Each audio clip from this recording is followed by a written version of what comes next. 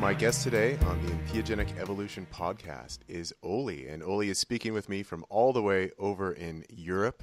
Olli, welcome to the Entheogenic Evolution. Yes, hello, Martin. I'm really excited to be with you. Yes, I'm really excited to have you here. Um, we actually just connected about two days ago where you sent me an email saying that you are engaged in a new practice over in Holland, which you are calling Psilohuasca. And this is something that I had never heard before. And um, also, you had mentioned working with psilocybin truffles, uh, which is something that, as we've we've had a little warm up conversation here, we've discussed about how many people are not really aware that there is such a thing as psilocybin truffles out there. And so I thought it would be the perfect topic to have here in the podcast. And so we've just jumped right into it, and here we are. So, Olli, if you would, let's just start by letting the people know what is Psilohuasca? What is this new process that you're engaged in? Yeah, um, uh, there's all the information on my homepage as well, psilohuasca.com, as you mentioned, and um, it's uh, yeah, it's a uh, it's a new kind of word creation. It's it has no ancient tradition. It's um, something that uh, no uh, tribe or no um, there is there is no sa- sacred use of it. It's a combination of psilo from psilocybin or psilocin and huasca from the ayahuasca wine. And it just means that you take a MAOI, a MAO inhibiting plant, uh, together with uh, psilocybin mushrooms and psilocin, psilocybin containing mushrooms. In this case, since in the Netherlands there's a loophole in the law, we uh, use sclerotia. I will get into that as you're very interested in it, and the, the listeners might be too. What is sclerotia actually is. But uh, in the Netherlands, they are sold in smart shops and they are legal there due to this loophole they have in their law. And um, there is uh, the same compound which is in the fruit bodies as well, the psilocybin, which is actually just psilocin if you take away the phosphor group, which will be taken away in your stomach uh, mm-hmm. naturally.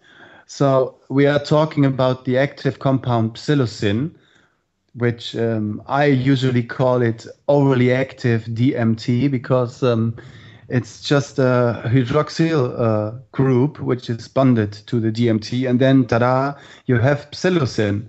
And this is the only thing which differs it, and it kind of tells your system, I'm not DMT, you don't need a MAOI, I can work without. So you take the mushrooms and wow, you go you uh, you go off, and um, that's the whole idea. Is why then take a MAOI with it?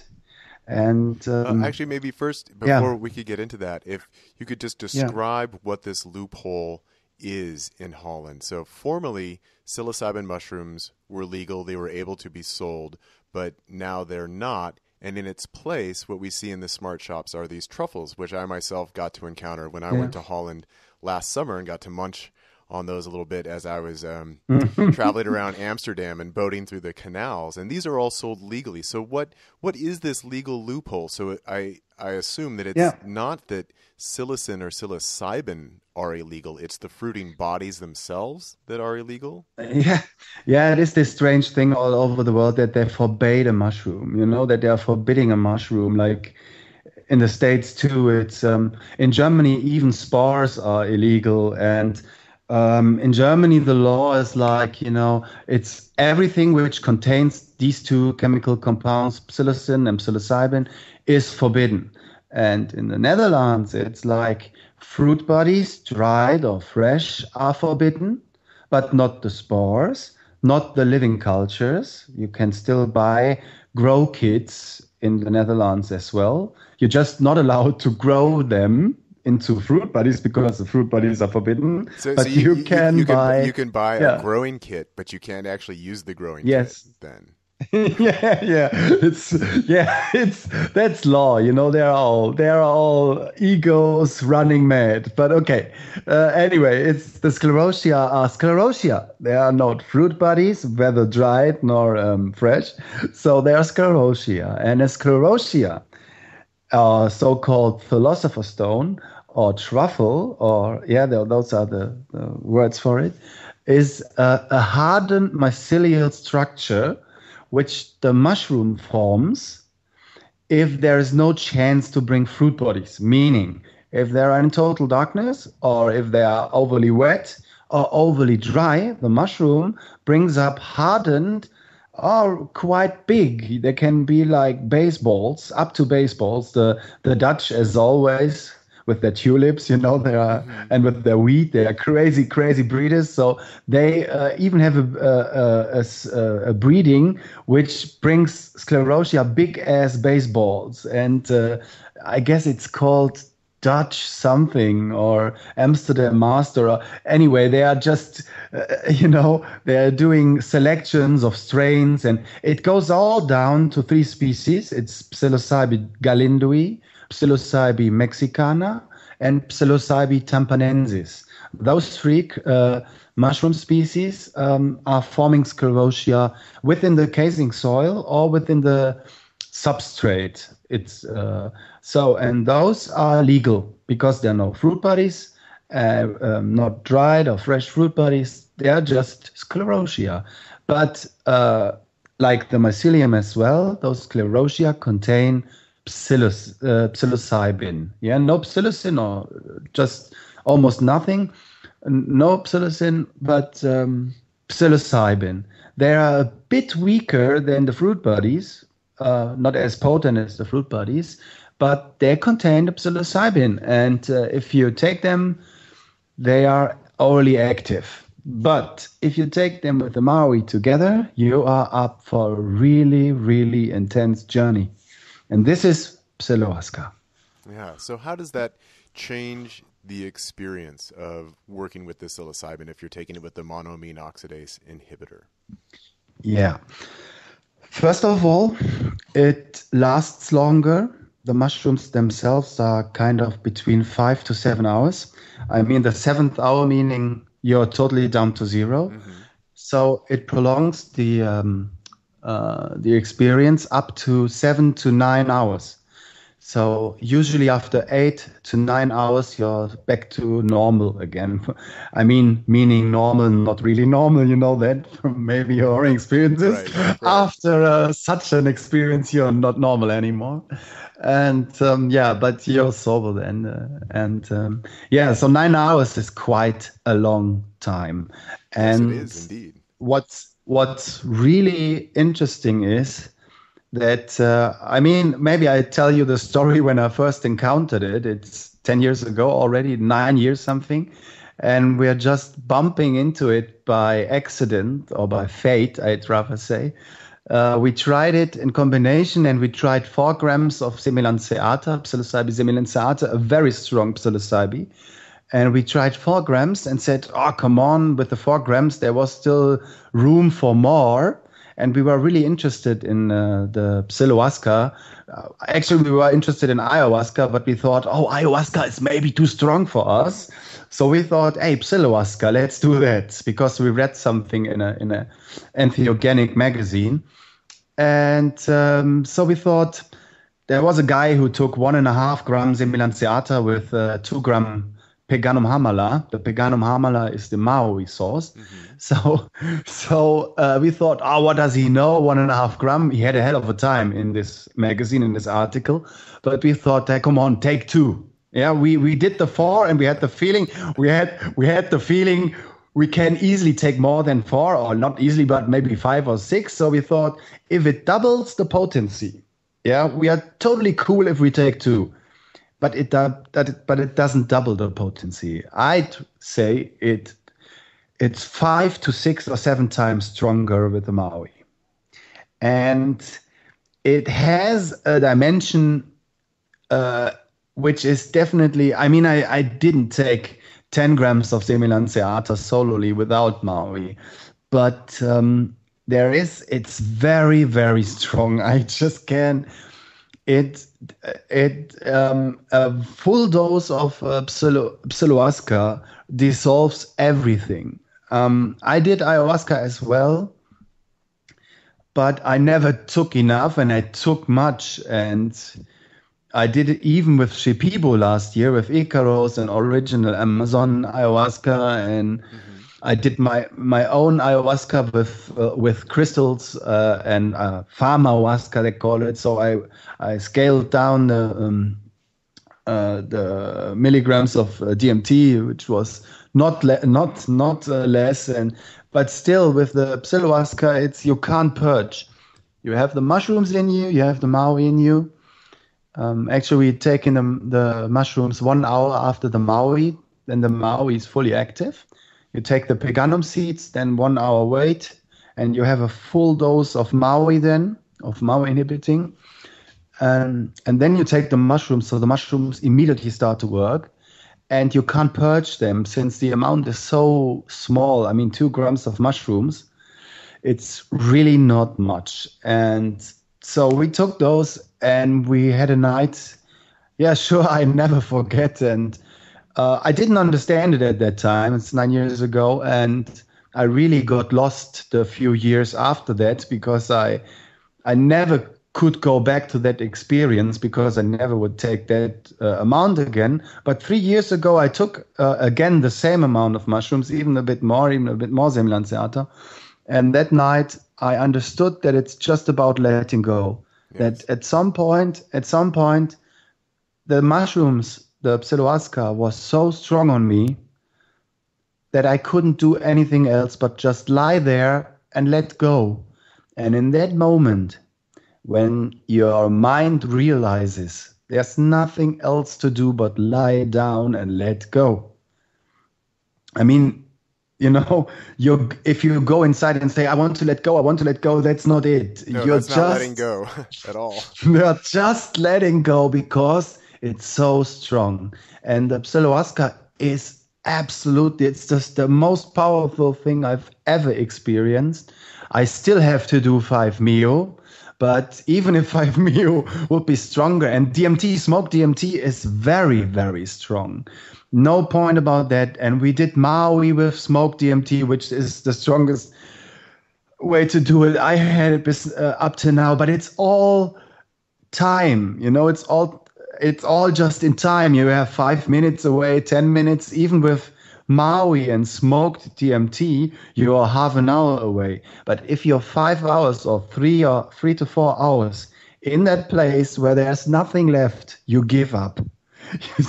your mind just gives up and and that's it that's the power of psilohuasca it's it's not that it's uh, you know bam like the rocket the rocket uh, like you have with smoke dmt but it's just that you're there and you're staying there and you're staying there and you're staying there. And then your ego says oh when when it's over and it gets stronger and even stronger. And at some point you realize an hour is gone and you can't even realize what is an hour. And then you just let go. I i can't you know there's no other way to describe but just let go and for some egos I mean, we are humans with an ego, so I always call the others not the others, but the other egos. So we had uh, at the ceremony weekends we did, we had uh, a few very, very strong egos, which took large amounts, and still I wouldn't let go. And so for one participant, he came the second time to the second weekend, and he did even more, and then he let he he was letting go. And for two hours no not a single movement or word was heard for him. And when he then came slowly back from that place his ego immediately started to explain what just had happened. Right right. But it, it just he was going over and over like love your demons love yourself. There is nothing but oneness and or and so on and so on. It was, was just it was beautiful mantras kind of. He was uh, like kind of chanting. And um, it's you know whatever um, I mean, it, it was, uh, he was out there and he could have stayed longer, but he has this strong ego. And it's so beautiful because I know I know him now a bit better, and he's in my heart, and he he knows who I'm talking about, and um, I can I can assure you, this guy totally changed. When the first uh, weekend was, he had so much anger in him. He was screaming, and because his ego didn't want to let go, and it was wow, terrible, really. And everybody was feeling with him, and we are family. It's just not um, at, the ceremonies. No one is. Um, uh, disturbed by anyone else. It's just my brother is suffering. You know, if I can't stand the suffering, I go outside, get some fresh air. But if I can move around, yeah. But uh, I am taking care of everyone. I'm sober the nights, and uh, so he he was totally letting go of anger, of fear, and those are the most biggest the, the biggest things of the ego: fear and anger it's what what drives the ego through life is fear and anger, and this is the th- those are the two ones we we just not let go. We just to, we try to suppress them and wow wow wow wow you know that and yeah and but he totally changed. He's really been healed. I I mean, I have to stop here because I'm taking too much question. I'm already answering so much que- questions here. I want to give you room too. Sorry.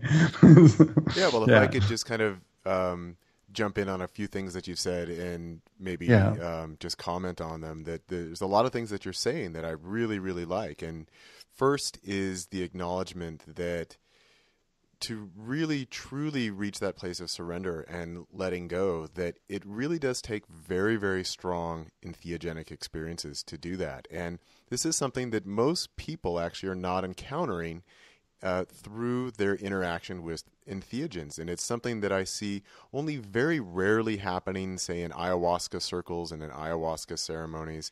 And a lot of people don't really understand that, that they don't understand that to reach that place of complete and total surrender is something that kind of jumping on some of the language that you're using, it's almost like people are going to sleep where when they mm-hmm. completely relax and surrender. It's when they stop doing anything. Yeah. And yeah. often for a lot of people, that involves a great deal of struggle and releasing. excuse me, yeah, before yeah. they reach that point. And that's what you see happen in a lot of ayahuasca ceremonies where people are spending a lot of time purging or they're seeking some kind of healing, that that's actually their ego that's operating and fighting with or attempting to work with the experience that when people are still in their ego, they think that when they're working with entheogens that there's something that they need to do or they something that they need to accomplish. But when the actual surrender happens, it's just this complete dissolution into not needing to do anything. And one of the things that I really liked on your website, your Psilohuasca website, is describing about how the Psilohuasca, because it's so strong, that it allows you to move into a place that you describe as being beyond thought. And I think that that's a really wonderful description where when we, mm-hmm. we enter into that, what then opens mm. up, as you've written on your website, is this feeling of universal love and just this state of unity and pure being. And then also, yeah. one last comment is just um, the, the story that you were telling about this individual, how we can see that there's this very distinct transition that occurs. For one, the the first transition is when they fall into a complete unitary state of experience and then it's just beautiful silence and beautiful rest the most profound rest anyone has ever had is yeah. that it occurs at that time but then as that energy starts to wane it's amazing the resilience of the ego that it just jumps in and all of a sudden the ego reasserts itself. And that's when people start trying to explain their experience or start, start trying to talk about their experience or communicate it. And that's always coming from a place of the ego. It's the ego that says, "Oh, I need to tell someone about this, or I need to explain this in yeah, some way." Yeah, yeah, and so the ego, even when the medicine is still very strong, the ego is resilient and it starts to reassert itself. And that's when people come out of that non dual state and they're returning back into a more normal dualistic state where they feel that communication is actually something that's fruitful. Because when you're in the non dual state, there's no point in communicating. There's there's no one else there in that sense, and there's no desire to communicate. It's just the desire to be. So I was wondering if you could talk a little bit more about what you've seen with people of falling into this non-dual state, this complete surrender state, and then the process of people coming out of that, and how that has helped to transform them and provide a very deep sense of, of healing and also a deep sense of being and belonging to those individuals. Um, yeah, yeah. Uh, um, let me jump on in something I have I heard of on your podcast, which uh, you said is um, that it's uh, very important that you don't only have the experience of the sacrament or entheogenic or whatever you want to call it. Um, it's that there is um, an explanation or um, something going along with it, so you know exactly what what really happened um, when when I did the Psilohuasca first time nine years ago, I just came out of it after nine hours. My friend had a bad time. I uh, I was caring for him, and I, I jumped on in the role of being the caretaker, mm-hmm. and I wouldn't even see this, you know. But um, no one told me what happened. And three years ago, I also discovered DMT at the same time, and I had a friend Jeroen, whom I um, make this uh, weekends together with. I'm not alone as a caretaker. We are two guider guide uh, guides there. Yeah, so um, it's good to have someone else.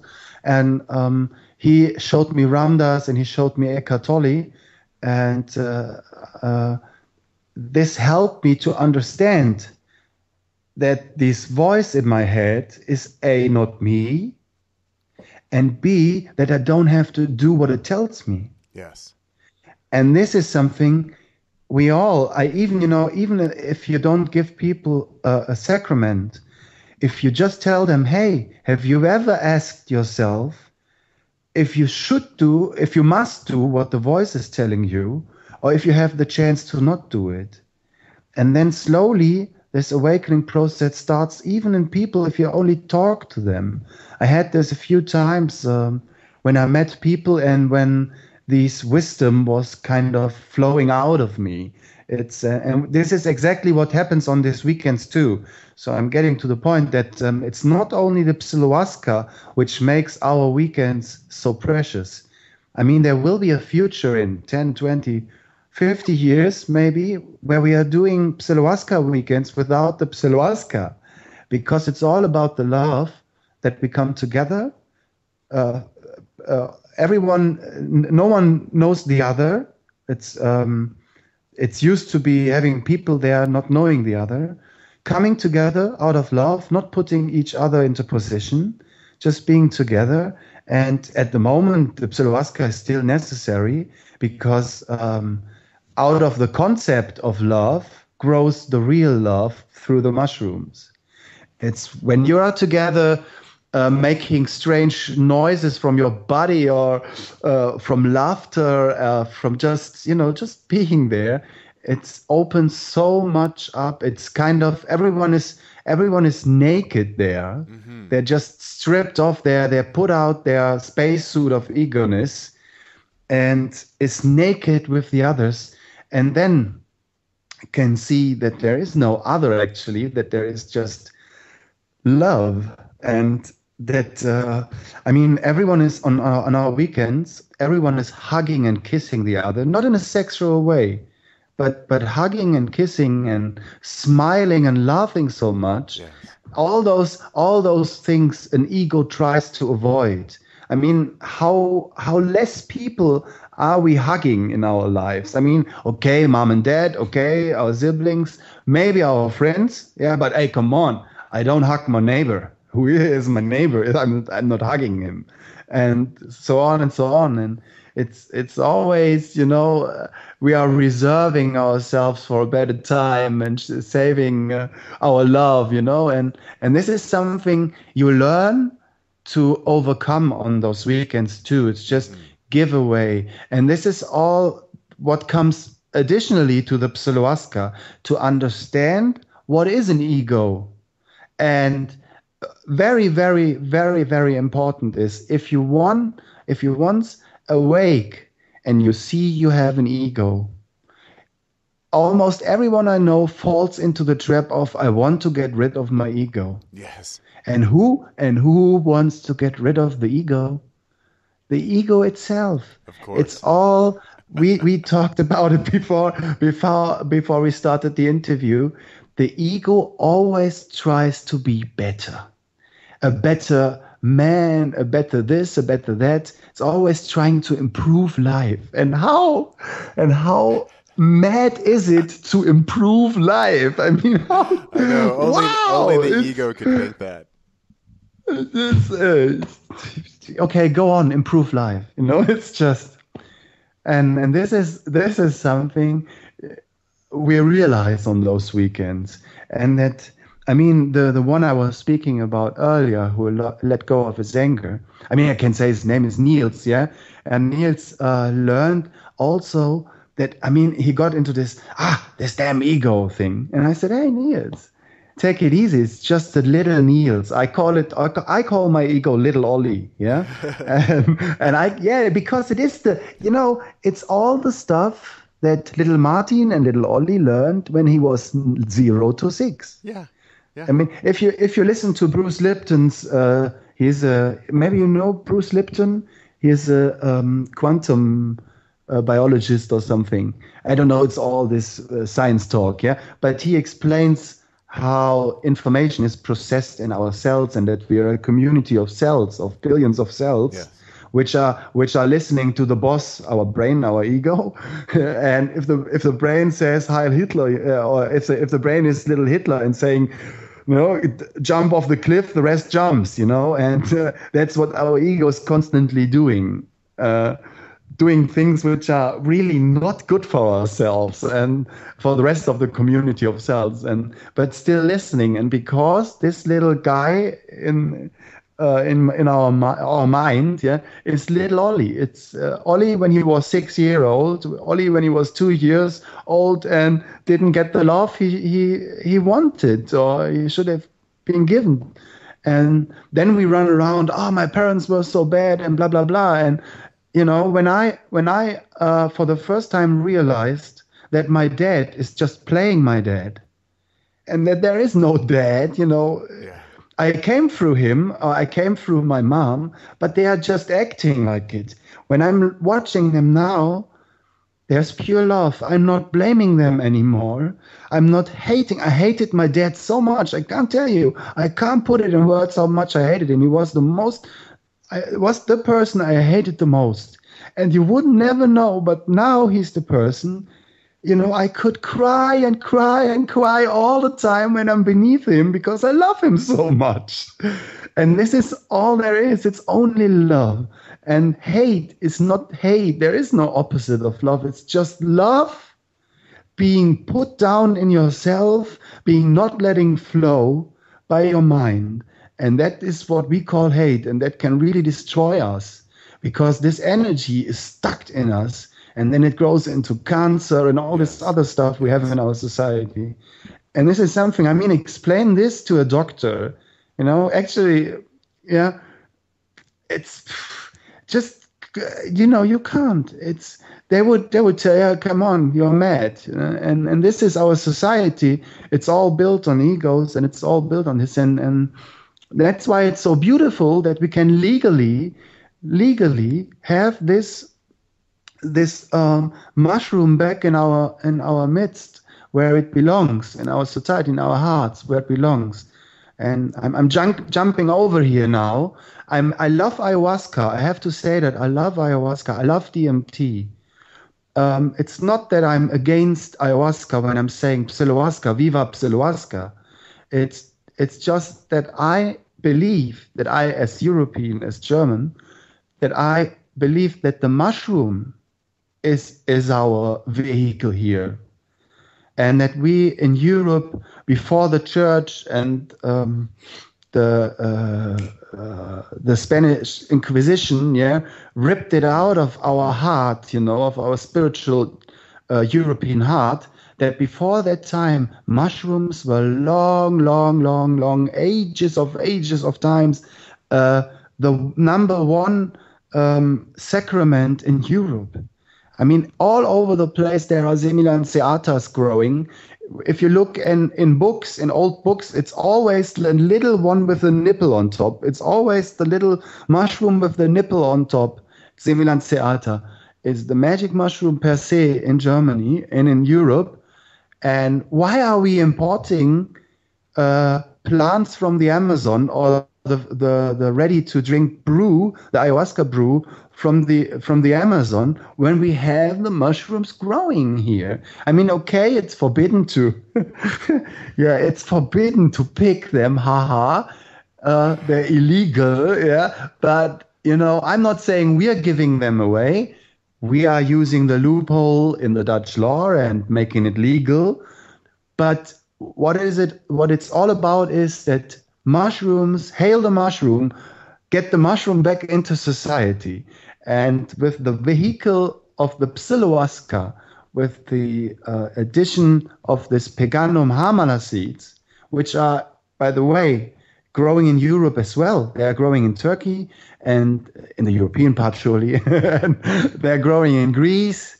Yeah, they are growing in, in, in Europe as well. It's a, it's a European plant as well. And it's it has a long tradition of uh, sacramental use, Peganum harmala, Syrian rue, it's called. Um, it's a very powerful plant. Three grams of those seeds, and tada, you're there, MAOI, you know, MAOI, full MAOI. And um, and this and the mushrooms, wow, you know, wow, uh, you know, just, it's so powerful.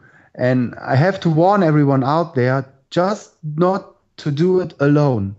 Not do not underestimate the power of mushrooms and a MAOI, and do it not alone. Uh, do it. Start in a small dose. I I wouldn't advise for you at all to do it. It's just information here uh, instead of just come to our ceremonies. They are open for everyone, and I've already uh, have the next one in January booked out, or fully booked, and March is opening now, and it's really there's yeah I will be doing it uh, every two months now. We started with every three months, but uh, yeah, it's needed and that's why I'm here, just to say Viva Psilohuasca. yeah. Viva love. so, so there's a number of things that you mentioned just there that I would like to touch on and, and comment yeah. on. And I guess the first is this idea that I that I think really runs counter to what we see in a lot of spiritual circles is this idea of, well, I want to get rid of my ego, first of all. There yeah. is this this notion that somehow you need to kill your ego. And when, when I hear people say that, kind of my, my line that I use with people is then I ask them, well, do you think cutting off your hand would make you more enlightened? and then everyone always says, well, no, of, of course not. You know, I, I need my hand. It does things for me. And then so yeah. I ask them, well, why do you think that killing your ego is going to help you be more spiritual or more enlightened or, or happier because it's it's fundamentally just a part of you and that's what I see as the real power of these ceremonies that you're talking about is that it gives you an opportunity to observe your ego and then also move out of your yes. ego and then also come yes. back into your ego so you can appreciate it that it's a part of you it doesn't need to be killed it just no, no. it's just made out of constructs that that we built when we didn't really know ourselves, that it's something that develops out of our childhood and develops out yes. of our sense of neediness or our sense of fear or our sense of isolation and separation. And so there's aspects of the ego that we can certainly heal. There's parts that we can reconfigure.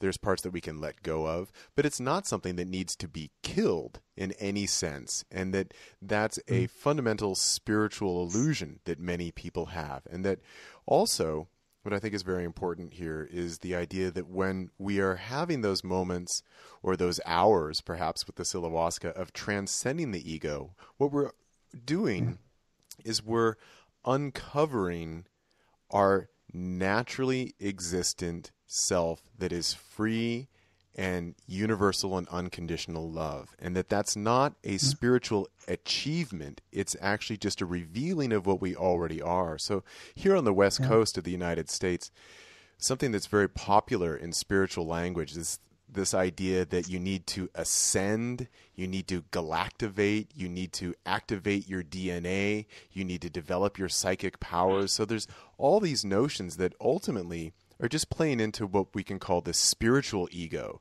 the ego that mm-hmm. says, "I have these special abilities," or yeah. "I've I've ascended," or "I've I've killed my ego." But it's just another yeah. formulation of the ego. That, that there's nothing enlightened about yeah. that at all. it's just a delusional behavior that people engage in, and a lot of times it's reinforced by their participation in ceremony, and it's it's reinforced by the fetish the fetishizing of ayahuasca and ayahuasca shamanism, the idea that, well, I'm going to drink ayahuasca and I'm going to activate all my DNA and I'm going to do that mm-hmm. under the tutelage of a traditional shaman, that that's the ego operating. That's all that's going on there. And so I really love this emphasis that you have on relaxing and letting go into our natural state of unity and pure love. And it's yeah. not something to be accomplished. It's not something for you to do. It's not something for you to achieve. It's something for you to just simply let go into. And that out of that yeah.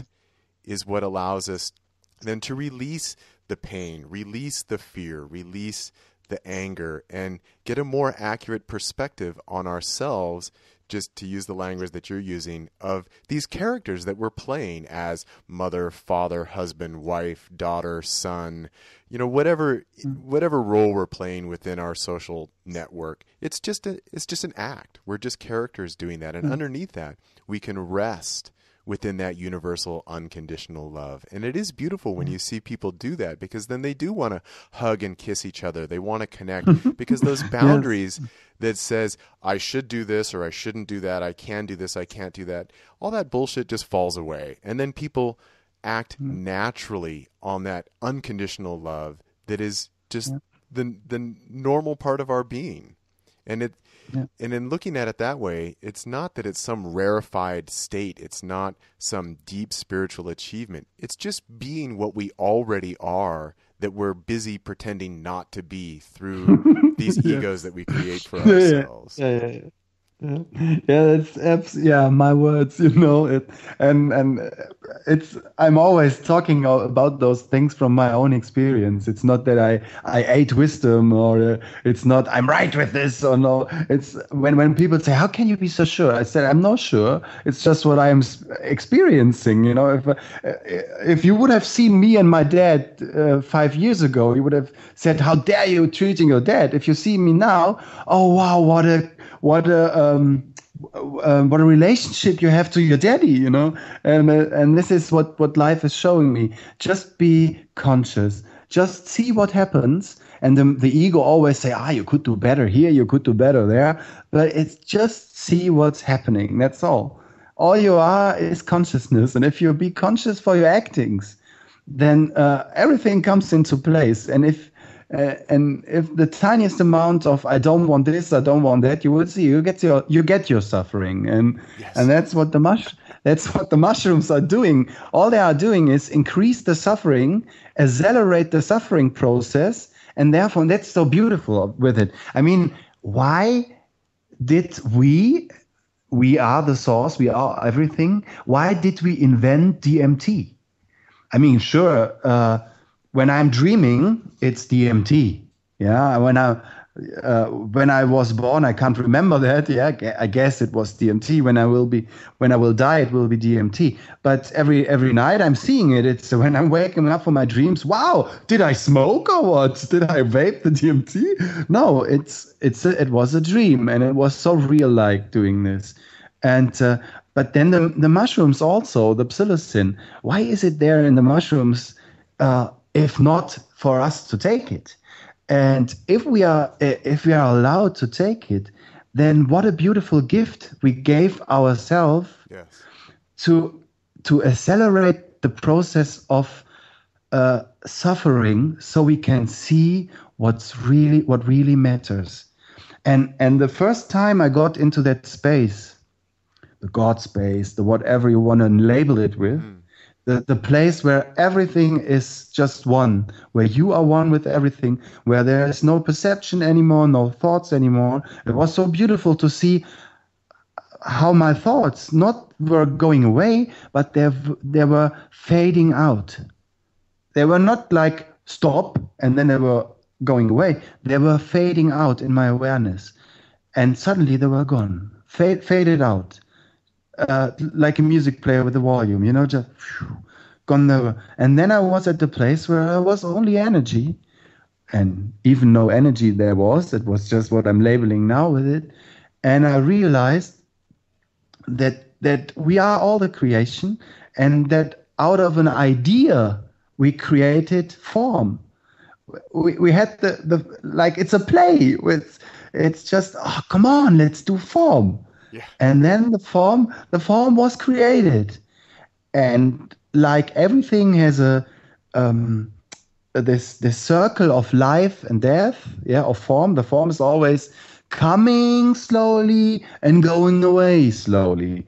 And it's uh, it's in the big the big picture is the universe. Is i guess we are now uh, getting back, or isn't isn't aren't we? I, I'm not sure, but it's expanding and going going back uh, to the center, and everything in life does this as well.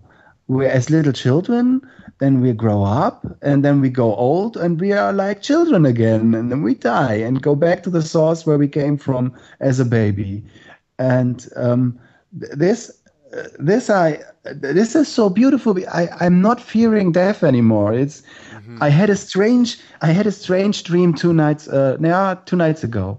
I have to tell you, it was so beautiful.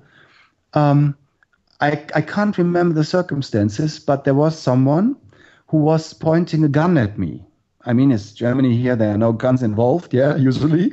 But there was someone pointing a gun at me and said, "I will shoot you." He was suffering and he was told he didn't want to shoot me but he couldn't but shoot me.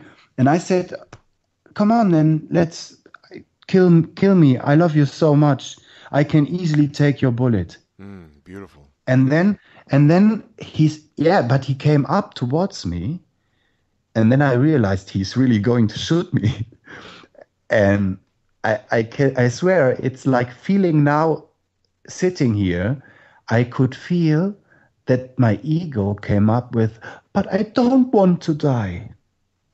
And i had the strong feeling that i at that point of my life where i'm uh, uh, where i'm now doing more things out of love uh, and not out of wanting anymore where i'm giving freely and loving freely i had the feeling oh come on. And i looked at him and said oh come on let me just go on with it and I immediately then realized consciously, all in the dream, yeah, that it is okay. I realized, hey, if life says I have to go now, well, then I go. What, you know, going home. It's okay. Let's go home. Yeah. And then, and it was so strange, man. I can, he shoot at me. And I, I could feel in that dream the bullet entering my brain and my my um, yeah myself yeah the real myself going out of the body. And then i woke up. Wow. And i was really that's what i said earlier. I was sitting there and thinking man that's why i'm not smoking dmt the past weeks or the past months actually. I'm really uh, my ego is a bit scared of sacraments. And it's uh, that's why it's so interesting that I'm sitting there with uh, on the Psilohuasca weekends, not taking something uh, anything myself, but just sitting there with the others, and it's so beautiful because I'm I just do not have uh, yeah visions yeah, but I'm at the same place where the others all are. We are resonating on the same frequency all together, and I mean, I, I did smoke uh, two weeks ago or so, so just to check myself if I still can do it, give up on par on, on the moment. But um, yeah, it, it's my ego is kind of uh, scared by it, and that's uh, going back to what you said. You just have to love yourself too. It's not that only love others; it's love yourself. Love little Olli, love little Martin, love the little me it's just a little little boy in my case. It's just you know i have a story where my mom and my dad had to leave me at the hospital when i was eight months old for two weeks. Two weeks for an eight month old uh, eight month old baby is eternity you know it's endless. And I, I I'm pretty sure I was suffering intensely, and then somehow was going along with it, but had since that point the strong feeling that I am not loved. And this is the imprint I got with eight months. Mm-hmm. And, and they weren't forbidden to get in in, in the hospital uh, in the in the room where the kids were, and my mom told me. Uh, actually, my mom told my wife, and my wife told me, and um, I then asked my mom. But this is my story, for example, and everyone has a story. Maybe not a trauma, but a story from the childhood. Six years is a long time, especially uh, it's the the first two years but six years, the childhood, I see I have children. My, my boy is seven, and I can easily see how his ego is now acting different than a year ago mm-hmm. and or two years ago. And um, I'm teaching them love for the past three years till I wo- uh, since I woke up but uh, yeah, I I did uh, the years before when I watching videos, family videos. You know, I can see me acting out maniac. You know, like I could I could feel how I was getting angry. You know, I'm I, I'm not getting angry anymore, and. Um, funny thing is, the more you can you say that, you're getting anger again. But you know, it's really um, I'm pretty much going along with things now. Uh, I still have to love myself more, you know, but um, it's all right. It's yeah. I, I, just think that's such an important perspective on all of this. That yeah. in order to really love other versions of ourselves, whether it be our kids, our lovers, our our spouses, our parents, or anyone yeah. else, that it really is about our ability to love ourselves and yeah. in a sense to embrace our own death, our own dissolution, and then find our love and trust within that. You know, when we're working with the medicines, the the more we can allow ourselves to go through this experience and say, well, it's okay if I die as this happens, and then to just dip down into that well of infinite love and kind of bathe in that for a while, and then come back out and be able to say, well, look, I'm going to treat my children with love because I love myself. It's not that I'm trying to be a good parent or that I'm following some program or that I mm-hmm. have some spiritual guidance that I need to do this, that, or the other thing. It just becomes a natural outgrowth of our own sense of self love, our sense of trust, yeah. and our willingness to be with ourselves through all of our vicissitudes of, of contracting and expanding and all the rest. That they're just a reflection of ourselves and that by finding our own inner clarity and our own inner peace, which again is not mm. achieving anything, it's just revealing what's yeah. already there. That's what yeah. makes it ultimately easier for us to be better parents, to be better lovers, to be whatever it is that we are. That that yeah. grounding within that infinite well of ourselves naturally expresses itself in more harmonious and loving relationships and it makes mm. life better for everyone. Yeah, absolutely. It's um, it's uh, it's all about love, really. It's um, uh, love is the. I mean, there's the other words are God, energy, isness, emptiness, whatever. It's all words, but love is the word which suits best in in my in my heart, you know, and from from my it's love, and um, as as much as we let this love in, um, the more um, the love lets us in, and the more we are with life and not against it. And um, this is, um, I mean, this uh, when you take the suffering of the planet and of everything, um, there's, I mean, we are really pushing it to the limit, humanity altogether. Yes. But um, but still, you know, that's like Maharaji, the guru from Ram Dass, said, Can't you see it's all perfect? Um, all there is is like it is. And um, there are things we can do, and there are things we can't change, and we, we shouldn't change. It's not about improving life, it's just about stopping to, to not let life. Um, um, uh, uh, rush through us, to to stop, to let the love, uh, um, uh, to keep the love inside ourselves. It's just smile at someone, uh, smile at to ev- uh, towards everyone. You know, when I'm, when you're on the street, when you're in a supermarket, greet everyone, say hello, just oh you look great, or maybe it's too much, you know, but just say hello and smile, and you all you always will be smiled back at. It's everyone is just waiting for the other one to make the first step.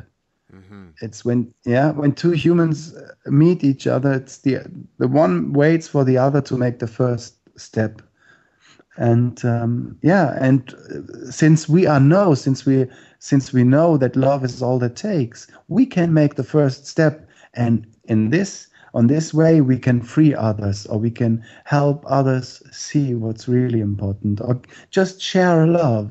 And this is the brick in the dark window you know one little brick and but this little brick can't be washed away anymore.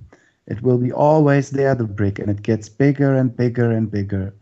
And this is what's happening at the moment. I'm yeah i'm really really optimistic that um, the experiment human being is not at an end and that we will manage it to not being um, to not die out like the dinosaurs did but to uh, maybe survive and finally open up to our true selves and realize that there were always the the Garden of Eden around us, and we just uh, closed our eyes, you know. And I mean, there are so many, so many um, of of all this is in every religion, in every everywhere, you know. It's just the the, the people are following in their mind and had and have forgotten what the what the real information is. And um, yeah actually it's all love. And uh, we, we we only have to share this and we should be grateful um, that there are those little mushrooms and the vine and whatever you know. I, I mean I, I take it down to DMT it's psilocin DMT it's those are the the the um the main keys to unlock the real self in us. And um, uh, um, we're really we should be really grateful to have this short this short path, you know, to to um, to uh, uh, yeah that the suffering gets so intense that we are um, accelerate the process of waking up and yeah. Yes. Well, let's yeah. let's talk practicalities uh, yeah. for a moment here. We've almost been talking for an hour. So, yeah. what I thought we could do to kind of wrap things up, and I also just want to yeah. say it's really been a wonderful conversation. I've really yeah, very you. Very much thank enjoyed you. hearing all of your yeah. thoughts and feelings on all of this. It's really quite wonderful. But I'd like to now direct people now to your website of psilohuasca.com, and it's P S I L O H U A S C A dot com, psilohuasca dot com. And uh, maybe if you could just talk a little bit about how people can go about participating in Psilohuasca sessions and a little bit more of what they could expect from the actual session itself. So you say that it lasts for you know around nine hours, but uh, what does that entail? If someone wanted yeah. to participate, what could they expect, yeah. and then how could they go about getting in touch with you to make this happen for themselves? Yeah, thank you very much for giving me a direction. I was just asking myself, ah, I, you know, I was getting in the mood of just hugging you through Skype, you know. And yes, okay. I, yeah, um, on the Psilohuasca page, uh, I invite everyone to just read it. You know, there's lots of information there too, and some beautiful links to uh, YouTube uh, videos of te- teachers in marks. You know. Um, spiritual teachers and a bit about my story, uh, uh, which I haven't told here. But um, yes, uh, there is a, a, form on the ceremony page. It's called yeah, the ceremony page, where you can just send me an email, and then um, you're in. you know, just send an email. I have interests uh, from even from America. It, although it's a bit difficult to fly over here easily. But we had participants from England, from Switzerland, from Germany, from uh, the Netherlands, uh, from Belgium. And oh no, the Belgium guy didn't come, but okay, yeah, we have interest uh, from everywhere. Uh, Czech, from from Czechoslovakia, two guys are coming for January. So um, yeah, we are open for everyone. And uh, with the email, you get in touch with me. And as you will see, I'm a houseman. I have a bit of a time to write an email here or there. And so I'm really getting in touch already before the ceremony with you, um, uh, telling you um, how it's going to be and asking you what you are expecting. So getting a bit in touch, you know. So I, so we both have a picture a bit of the other uh, before coming to the ceremony. Um, then um, uh, there will be a, um, a PDF uh, with all the information where the location is, and there is a little fee, a little donation fee uh, you have to pay. It's not for the psilohuasca, but it's for the food and for the place I rent in in the Netherlands. And we are about to uh, have a different place than we were before, not because it was bad, but we want to change the localities now, and we are moving further. And maybe in summer we go to the beach, to Zeeland, uh, west coast of uh, Netherlands. There, yeah, just to change the venue. And so um, then you, uh, then I will ask you to pay at least half of uh, what is about what is to pay before. So you're then uh, fully. So so so you're then booked the whole thing. And when you come on the ceremony on a Friday 17 we start um, there will be already i will be i will be having finished cooking and there will be uh, not warm food but all kinds of food on the table and salads and stuff and i always take care that um, uh, i love to say the term that we celebrate life you know psilohuasca I, I have to tell that it's it's not about ceremony i mean it's a ceremony because we're all together no one gets out we stayed together and we are a family going on that journey. But uh, there are no rules involved. The only rule I have now is no drugs. We had a bit of pot smoking last time, and that makes the ego even more mad than it's already.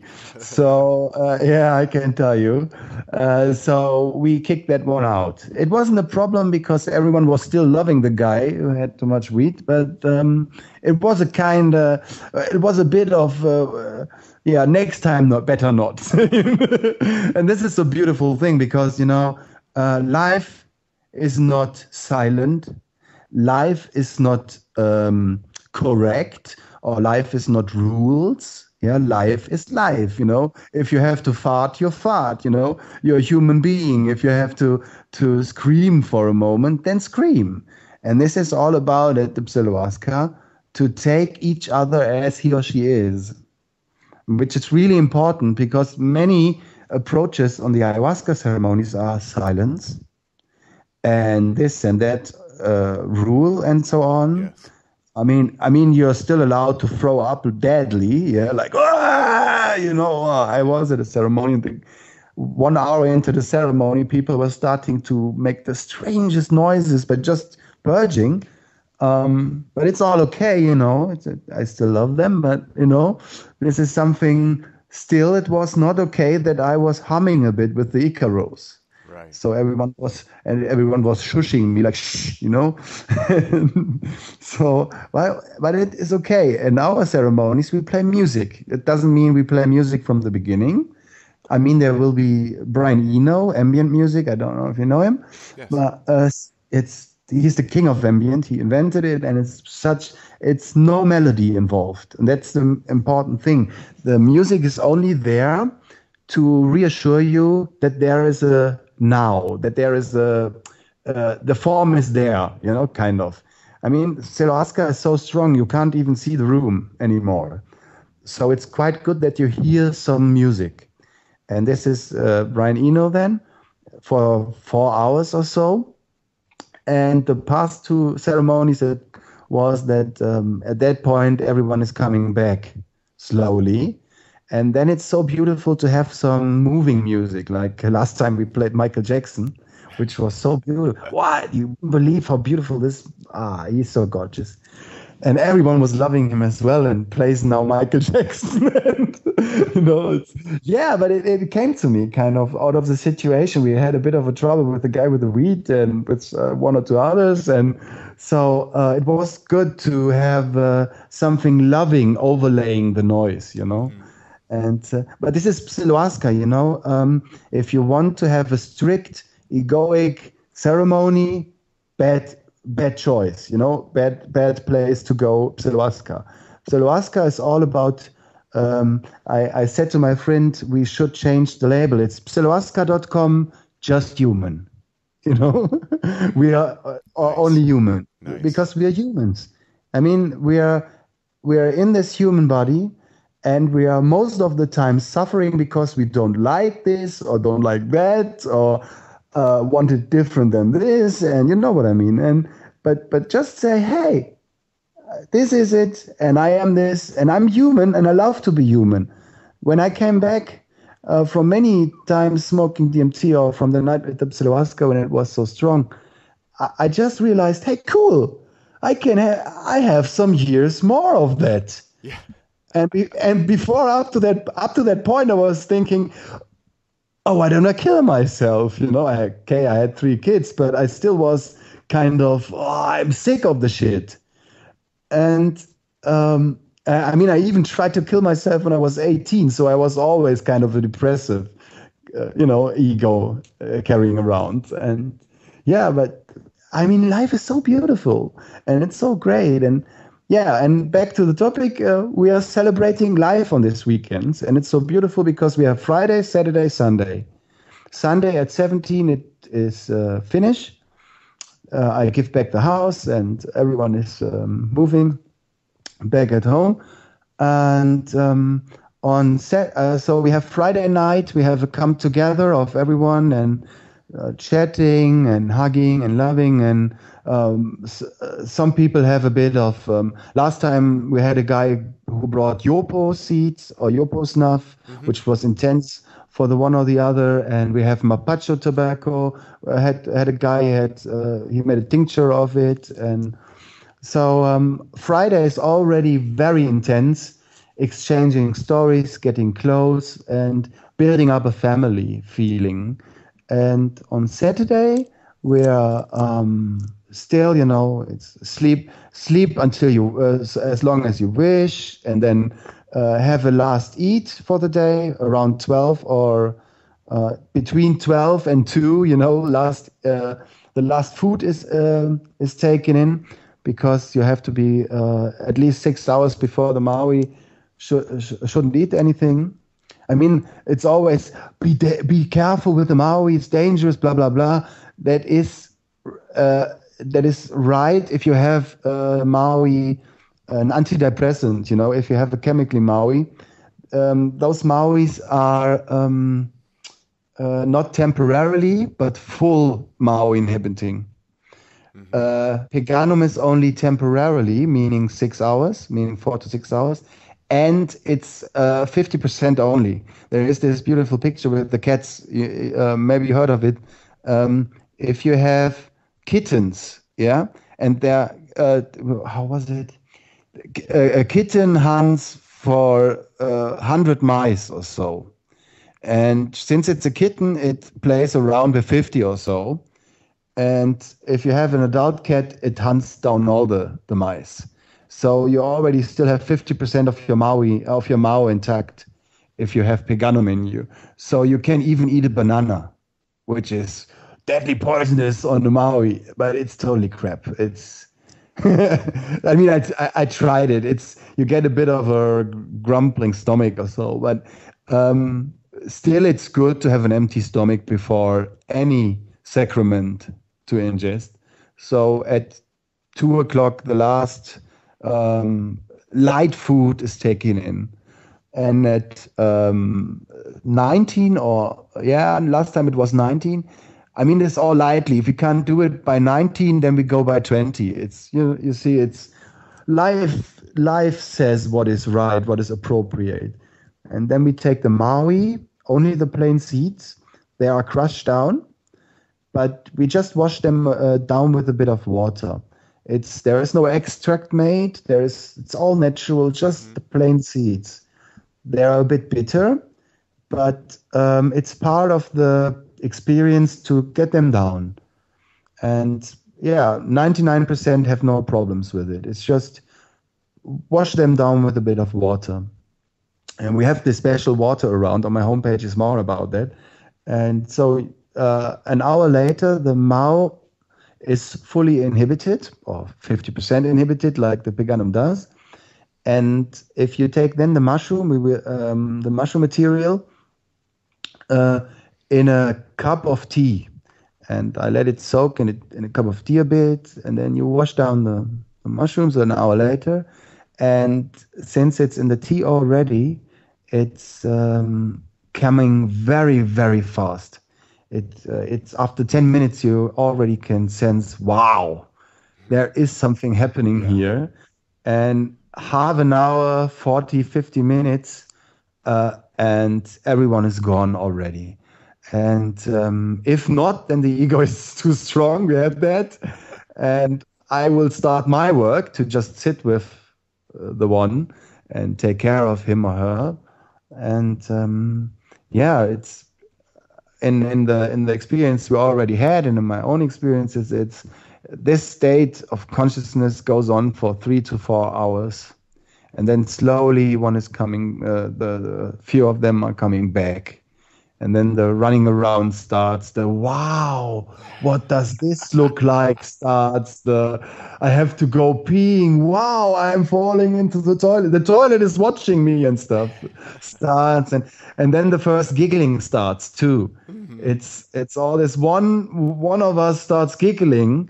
And this is so beautiful with mushrooms. In my experience it's the difference between ayahuasca and psilocybin we didn't talk about that. It's um mushrooms always have a feeling of someone else. There is an entity in you, kind of. It's, I mean, it's not an entity, but there is the feeling of the mushroom is with you. Uh, let's let's put it in this uh, like this. You know, the the mushroom is with you, kind of. It feels like this, and um, also the mushrooms make you more giggle. Um, I mean, we had a good laugh on ayahuasca too. It's not this, but it's a bit more. It's more giggling mm-hmm. even, and and then the laughing starts and the loving starts too, and uh, the first ceremony in the fifth hour, everyone was lying on the other, hugging and touching the other. It looked like, uh, uh, I mean, with clothes on. I have to say that again, again, and again. There's no sexual stuff involved, yeah. But it looked like a swinger club, you know. and, but, but it's so beautiful because no one, no ego allows this. You know, this is something exactly something which no ego allows. And if you're doing that, you're already healed, instantly healed. If someone touches you who who you barely knew uh, know, who you just got in touch two days ago with or a day ago with, and you let them or him or her touch you, you're healed already. it's as simple as that. And yeah, what should I say more? On Sunday, I cook again, warm meal then. We sit all together, have a lunch, and then slowly open up. It's not even that uh, everyone is pushed to talk about, to put in words what he or she experienced. And this is so beautiful because I don't have to worry about those things. A, everyone is talking to the other like family. So it's not I go to everyone and ask. Uh, but I see, ah, he is talking with her and her is talking with. I see them all talking together. So, you know, words are exchanged about what happened. And then I talked with uh, these and this, and they told me the story of the other. And overall, I get all stories. Right. Yeah. And and if not, then I'm going on Facebook, and we're still in contact. And I'm doing my my work after the ceremony, asking how is how you are um, doing with your change at work now? How is it with your family situation? Because we're family we're caring for each other. And um, yeah it's if you go to the psilocybin um, yeah let's call it forum community on facebook you can easily see what pictures are shared and what stories are shared i mean um, if someone wants to go there i have to let them in but um, I have the strong trust that uh, it's all okay to do it that way. And I mean, it's not illegal, that's for sure. So I'm freely acting on this. It's yes. not illegal. It's legal healing. And um, yeah. well, that's that. just, just wonderful, Olli. I've, I've really enjoyed yeah. having you on the podcast for today, yeah, and, and, having you, you, you, you share all of this wonderful information, and it's it's really been a great delight. And um, I think mm-hmm. that your your joy is contagious. Your enthusiasm is contagious, yeah. and it's just beautiful to be able to share that with the podcast listening audience. And just yeah. congratulations uh, on your own personal yeah. work and for the work that you're doing to help others to discover this within themselves, because that's what we mm. really need more of. And so beautiful. Yeah, thank you very much for having me. I can't put in words how I know. Um, I mean, we have switched off the the camera. Um, uh, you have to see me. I'm just so so deeply smiling. You know, I'm I'm feeling like I'm fully on the sacrament now, and that's what I was talking about. It's it's always there. Yes. And I, I heard you saying that on your podcast too. It's always there. You don't need the sacraments, but to find it out, the sacraments help you.